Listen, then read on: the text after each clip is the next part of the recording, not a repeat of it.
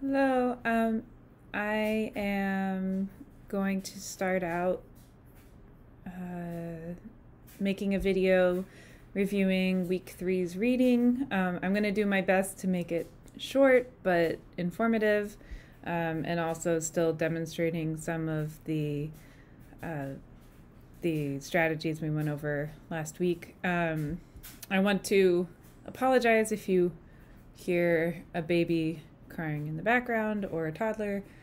Um, that is something I can't avoid. So, um, hopefully that won't happen. It's nap time.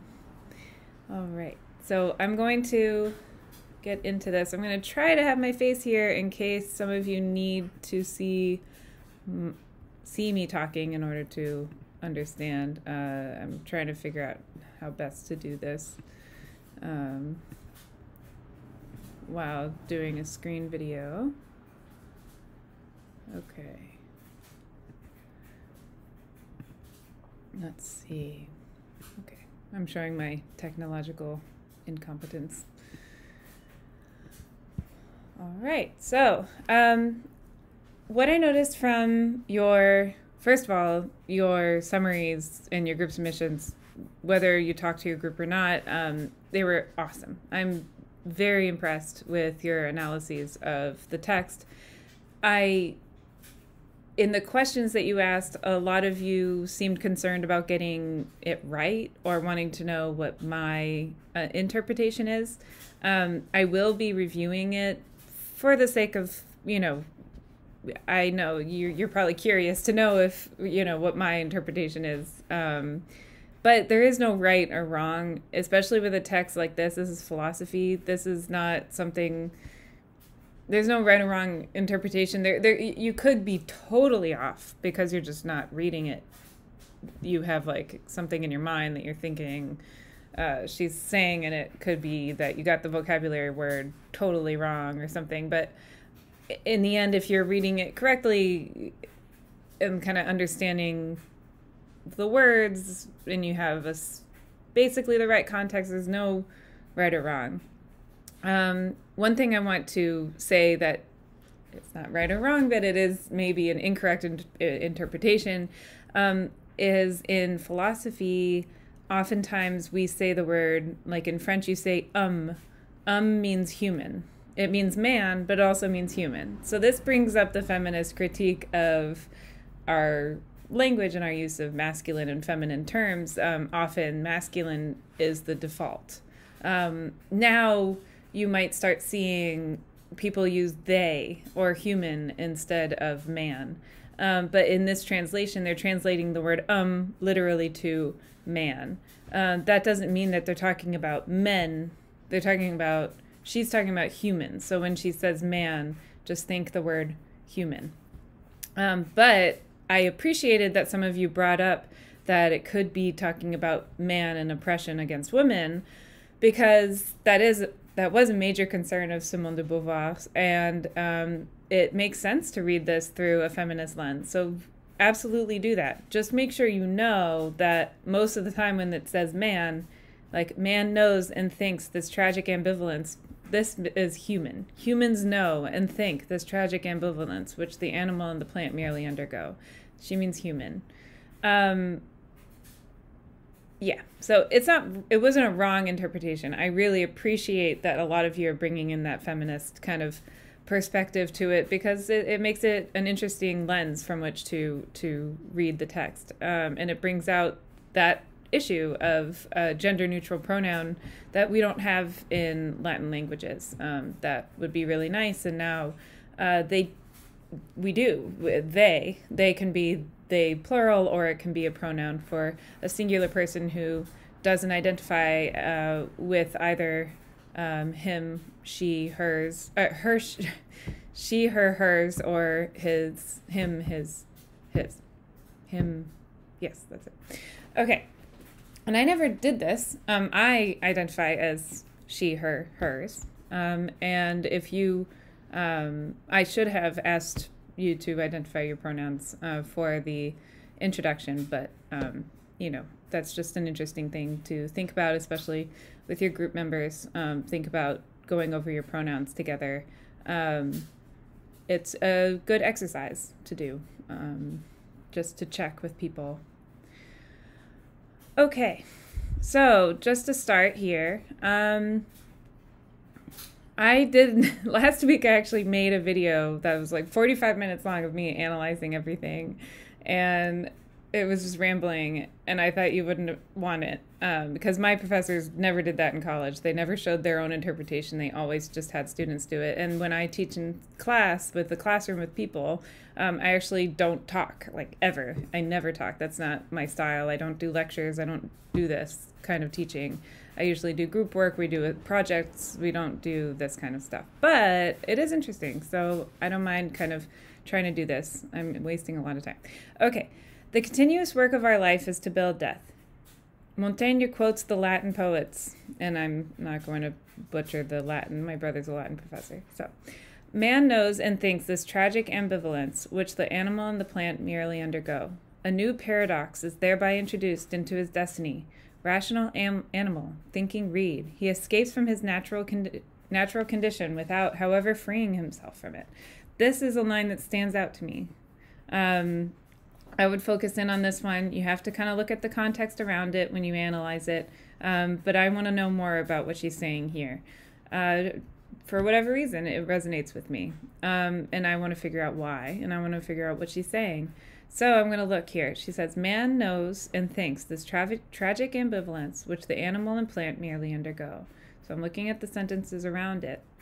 Here she's saying, There's a tragic ambivalence this tragic ambivalence. So when she says this, she's talking about this quote The continuous work of our life is to build death. So that's the ambivalence. Nascentes morimur, and mort is death in French, so I'm assuming in Latin this is death, is necessary, the necessity of death. So the ambivalence is that we die man knows and thinks this tragic ambivalence. We think about the fact that we die, and we think about the fact that we're alive, and that there is an op- opposite to death. And the plant and animal merely undergo death. They don't think about think about life or death, and they don't, as far as we know, and they don't think about the fact that they're thinking about it, and then think about the fact that they thought about it and what you know, and so on and so forth. Um, in philosophy, this would be beta thinking is when you are able to recognize um, something, you're able to think about something from another perspective. Alpha thinking is thinking about the fact that you were thinking about that.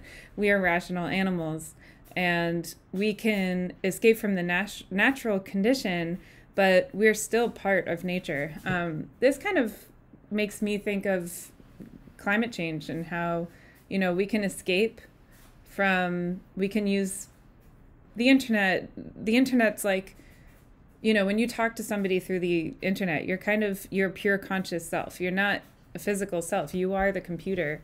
And it's just a representation of our brains in a way um, or the brains of the people who designed it. And um, and it's interesting to think about how we are freeing ourselves from our physical selves using the computer. Um, but our physical being is still the real truth. And it all comes to, it all ends at some point. Um, and we don't know how, we don't know when, but it does. Um, and a lot of philosophers are obsessed with the concept of everything we do is reeling towards that but um, or or or trying to free ourselves from the fact that it happens. And and this is what she brings up later many times over and over again is that through trying to free ourselves from the natural phenomena of of the cycle of life um, we are actually creating a prison for ourselves in our minds as if it's a bad thing as if it's bad that uh, we have this natural cycle of, of birth to death and we go back to the earth and we provide our bodies provide to the earth and we try to escape that as human beings but we can't escape from it so it kind of changes your idea of what freedom is is freedom not dying Or is freedom allowing yourself to live that natural life cycle and accept it and then find meaning in the time that you have as a conscious being? Um, I believe that that is essentially her philosophy around the ambiguousness. Um, okay. He is still part of this world of which he is a consciousness. He asserts himself as a pure internality against which no external power can take hold, and he also experiences himself as a thing crushed by the dark weight of other things. A lot of you brought up this quote. It really does stand out. Um, partially the quotes that are most well written, you have to think about it. Sometimes things aren't confusing because you don't understand it. Sometimes things are confusing because the translator didn't do a good job translating. Um, at times, like that, I try to find maybe another version of it. Um, I'm trying to find another PDF version with a different translation just so you can compare. Um, I haven't found that yet, but there is a book if you have a Kindle or something and you want to do a free trial for Audible. Um, you uh, you can download the uh, during your free trial you get a free book, so you can download the Audible version of of it. It's a different translation, but it might help you kind of the comparison between the two uh, could help you kind of understand it and understand when it's not you, it's it's them. um, so he asserts himself as a pure internality against which no external power can take hold. Hmm. He asserts himself. So asserts is a very active thing to do, as a pure internality So we assert we're we're trying to make ourselves something that's purely internal, against which no external power can take hold. It's really interesting. Again, she didn't have a computer. She did computers didn't exist. But thinking about it, like how computers and how it's just bringing up to me because I'm thinking about virtual learning so much. Um, how computers really represent our our external manifestation of our internal selves against which no external power can take hold. And he also, at the same time, experiences himself as a thing crushed by the dark weight of other things. So while we are an individual, we can't escape the fact that we have an environment. We are an individual within an environment. And whenever you meet somebody, whenever you talk to somebody, you have to think of them as an individual within an environment, not just a collective, not just a collective of other humans, but the environment and the geography and the socioeconomic environment, the physical environment, the geographical environment, the home, the school, the community, the state, the country, the larger world, and then the universe all impact that one individual. All of those factors. It's kind of like that quote, you know, you think about, especially right now with the tough times that we're going through. Every time you meet somebody, just assume, you know, if they're rude to you, assume they're having a tough day. You know, you think about that person being person within their environment. That environment could be crushing them in some way, and just have some empathy for that person. Um, if you, I, I think that's where she she's not talking about empathy here. That's not what she's saying, but it reminds me of that concept of you. Every person um, thinks themselves invincible, but really we are just individuals um, that either are thriving or are being uh, affected by in some way our environment. At every moment, he can grasp the non temporal truth of his existence. This was another quote. A lot of you chose quotes from the beginning, which is totally fine. You don't need to explain yourself for doing that. Um, I think the beginning and the end of everything, of every paper that you read or every book, those are the really important parts. So it, it makes sense that you did. Um, at every moment, he can grasp the non-temporal truth of his existence. So the the the truth that is not um, weighed down by time of his existence. But between the past, which no longer is, and the future, which is not yet, this moment when he exists is nothing. So, this is her philosophy. This privilege, which he alone possesses, of being a sovereign and unique subject amidst a universe of objects, is what he shares with all his fellow men. In turn, an object for others, he is nothing more than an individual in the collectivity on which he depends. How did she get there? So, how did she get from non temporal truth of his existence to this. okay, but between the past, which no longer is, and the future, which is not yet, this moment when he exists is nothing. This privilege, which he alone possesses, of being a sovereign and unique subject amidst a universe of objects, is what he shares with his fellow men.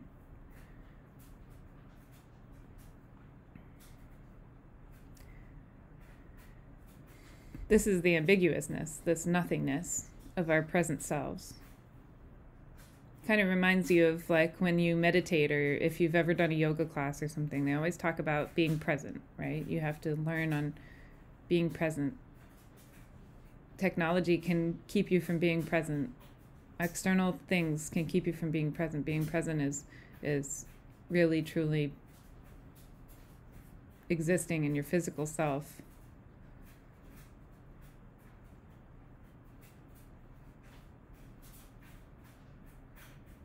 in between she doesn't mean the relationship she means literally in the middle of the past and the future.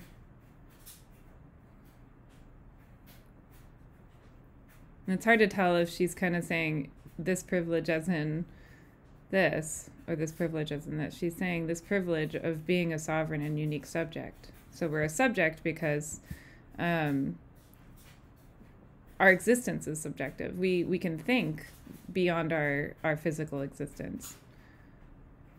Amidst a universe of objects, a subject can control an object, but sometimes a subject is treated as an object, is what he shares with all his fellow men.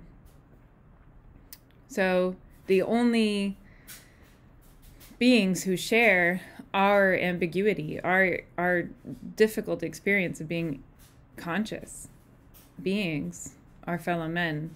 And, and that means you are by definition not alone. In turn, an object for others. He is nothing more than an individual.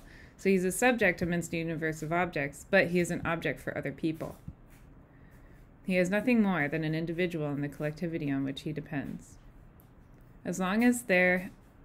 Okay, so we need to think about each paragraph as having its own meaning. Um, each paragraph in like one of your essays, each paragraph has one purpose to communicate one thing and you kind of show your thought process of getting to communicate that one thing. So I like to try to think about what her purpose of writing this is. It's clearly her introduction. Um, she kind of rambles. They said in those videos that she doesn't have the same constraints as other authors during her time because she was a woman and and didn't feel like she was really going to get published anyway. So she kind of wrote exactly how she was feeling, which is why I think she was able to transcend uh, her time period and become one of the great philosophers. Um, she rambles for sure, and she repeats herself a lot. So, what is the main? Man knows and thinks it's traffic she's introducing the idea of the ambiguousness of life and that it's related to death, it's related to our consciousness of being a conscious being, um, a subject amongst objects. So the point is to introduce ambiguity. As long as there have been men and they have lived, they have all felt this tragic ambiguity of their condition. So now she's kind of defining it even more. But as long as, and providing context but as long as there have been philosophers and they have thought, most of them have tried to mask it. And now she's giving context of philosophy. Philosophers have tried to cover it up, have tried to it, try to avoid thinking about the ambiguity of of our condition. They've done things like um, believed in uh, uh, believed in certain powers that had control over our existence and our destiny and our fate um, in order to say that our lives are not ambiguous. In fact, they, they believe that it, in fact, has a lot of meaning and that everything is on purpose. Uh, everything was written out for us before it happened. Um, and she's trying to say that that is not the case, that the ambigu- ambiguity of our condition is really hard to take. And most people try not to uh, try not to take it. Try to not look at it in the head and try to circumvent it in order to survive. It's very hard to survive knowing or thinking that your life has no other meaning other than to exist in this very moment. Um, okay, they have striven to reduce mind to matter or to reabsorb matter into mind. Those who have accepted the dualism, what is the dualism? So this is a clarifying question. I need to. The dualism of mind versus matter, I'm assuming have established a hierarchy between body and soul, yeah, which permits of considering a negligible as negligible the part of the self which cannot be saved. They have denied death, either by integrating it with life or by promising to man immortality. Or again, they have denied life, considering it as a veil of illusion beneath which is hidden the truth of nirvana. And the ethics which they have proposed to their disciples has always pursued the same goal. It has been a matter of eliminating the ambiguity by making oneself pure inwardness or pure externality, by escaping from the sensible world or by being engulfed in it, by yielding to eternity or enclosing oneself in the pure moment. Um, it, she says people try to be either completely internal, completely meditative, or completely external, completely absorbed by the material world, completely objective. And in philosophy, that would be called positivist, is you only believe in the objects that are right in front of you. Um, and that those are two extremes and that she thinks that and the ambiguity that she focuses on is in between those two things that's the duality of the external self and the internal self and the ambiguity is is that we are both.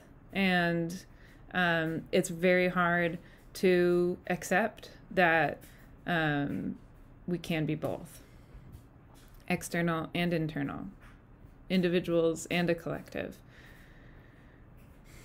At the present time, there still exist many doctrines which choose to leave in the shadows certain troubling aspects of a too complex situation. But their attempt to lie to us is in vain doctrine. So she's saying there's too many, too many um, different ways that humans both try to tell other people how to think um, and how to feel, and too many ways that people try to search for a leader to tell them how to feel because they can't accept that they themselves can create their own meaning. Um, there's a book called Things Fall Apart by Chinua Achebe that um, is talking about a village, an African village, uh, I think in Nigeria. Pretty sure it's Nigeria. It's not good. I don't remember. Um, and it's before col- colonial before the colonists came, um, and one of the things that they believed in this village was that you had a chi. Every person had an internal god. Um, so that's that concept of of it, this concept of you creating your own meaning exists in a lot of different cultures and a lot of religions, um, and it, it exists in religions very popular religions and theologies today, but we use different vocabulary to express them. So even if you don't agree with Simone de Beauvoir um, on a literal level. Um, you can find vocabulary in your theology and in your philosophy that uh, is a different way of expressing what she's trying to say here um, about man being in charge of his own fate, um, about man, humans um, creating their own meaning. This paragraph, she talks about the atomic bomb. Uh, again, skimming is really great. You can kind of kind of blur your eyes almost. Relax your eyes and look at a paragraph and see what words stand out to you. So I see metaphysics, uncontrollable forces, object, subject, atomic bomb, Stalingrad, and Buchenwald. So now I'm thinking about World War II. I'm thinking about humans using each other as objects to a means as a means to an end. Um, so she's getting into how when we are controlled by a doctrine, we are um, giving away our freedom and actually accepting a world where we can use other humans um, as a means to an end. We're creating a world. We are acting like we're the masters of our universe. Um, but and we create we create objects that can hurt us. Uh, it's very it's a strange thing, right, for a species to create objects that can hurt themselves. Um, what I think part of what she's saying here is once you accept the ambiguity of your existence, the difference between human beings blurs and you become a species again. You don't become separate people from separate states, from separate um, backgrounds. You are all human beings. And um, when you create something in the mind that you are protecting your state, like the atomic bomb, like a country creating the atomic bomb, um, trying to scare the rest of the world, you're creating something to destroy your own species. And that's a very strange concept. Okay. I'm going to take a break because this video is getting too long. So I'm going to come back in the next video.